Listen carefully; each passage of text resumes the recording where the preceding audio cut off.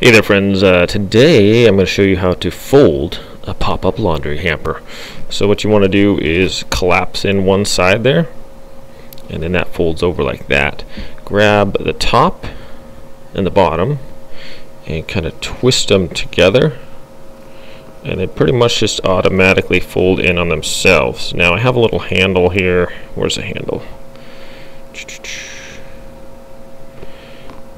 Uh, there's the handle on the inside of the hamper. That doesn't really help me.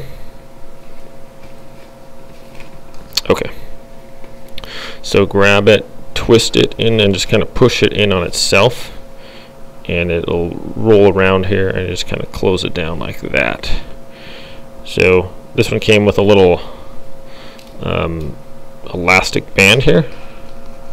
And I put it over the handle lock it up like that and you can tuck in the little edges if you want and uh, if you're going oh I don't know camping or something where you need to tuck this into your suitcase you fold it up just like that you want to undo it just let it fly. Alright my friends. Thanks for watching. Good thing I had eye protection on. We'll see you next time